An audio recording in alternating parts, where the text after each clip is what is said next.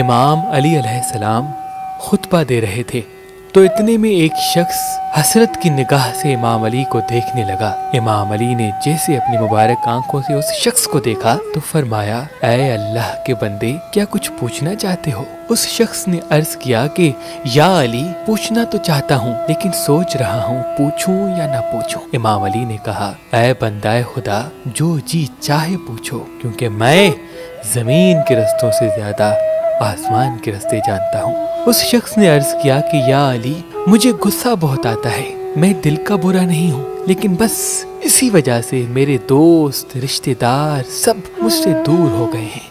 امام علی نے فرمایا، اے شخص، یاد رکھنا، جس شخص کے دل اور زبان میں کوئی فاصلہ نہ ہو، جو شخص دل میں منافقت نہ رکھتا ہو، وہ فوراً غصہ کر کے کہہ دیتا ہے۔ لیکن تمہارے غصہ کرنے کی وجہ سے تمہارا اخلاق تم سے دور ہو رہا ہے اور یاد رکھنا ہر رشتہ اخلاق سے جڑا ہے۔ اگر تمہارے الفاظ میٹھے نہیں، اگر تمہارے لہجے میں محبت نہیں، تو کوئی بھی تمہارا نہیں ہوگا۔ بس یہ کہنا تھا تو وہ شخص رونے لگا۔ امام علی نے کہا، تم رو نہیں۔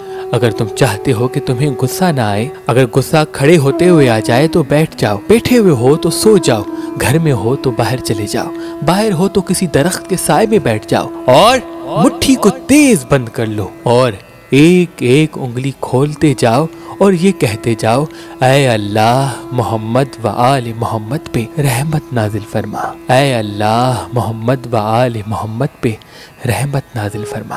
جب پانچوں انگلیاں کھل جائیں تو دیکھنا تمہارا غصہ ختم ہو جائے گا۔ انشاءاللہ۔ اپنی زکوٰۃ، صدقات، خمس اور عطیات مہربان ٹرسٹ میں جمع کروائیں، کیونکہ آپ کی تھوڑی سی مدد سے کسی غریب کی زندگی سنور سکتی ہے۔